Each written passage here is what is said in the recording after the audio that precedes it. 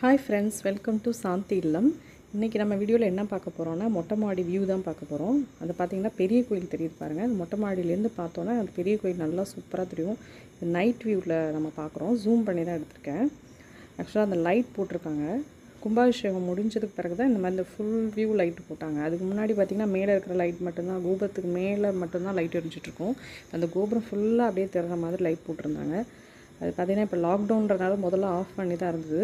இப்போ தான் போட்டிருக்காங்க.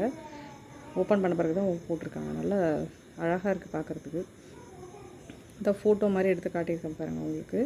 நல்லா அழகாக தெரியும். இங்கே சைட்லேருந்து பார்த்தீங்கன்னா ரைட் சைடு பார்த்திங்கன்னா தஞ்சாவூர் அரண்மனை தெரியும். லெஃப்ட் சைடு பார்த்தோம்னா மணிமண்டபம் தெரியும். ஆக்சுவலாக அந்த இருட்டில் தெரியாது.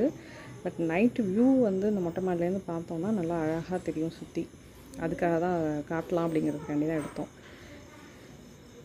நான் உனக்கு பகல் வியூ ஒரு நாளைக்கு எடுத்து போடுறேன். அதுவுமே நல்லாயிருக்கும். அது ஓரளவுக்கு பெரிய கோயில் நல்லாவே கிளாரிட்டியாக தெரியும். ஆனால் அது பாருங்கள் தக தகன அப்படியே கோல்டன் கலரில் அந்த கோபுரம் இருக்கிற மாதிரியே இருக்குது தஞ்சாவூர் பிரகதீஸ்வர் டெம்பிள் தஞ்சாவூர்லேயே இதுதான் மிகப்பெரிய பெரிய டெம்பிள் ஸோ எல்லாருக்குமே தெரிஞ்சிருக்கும்.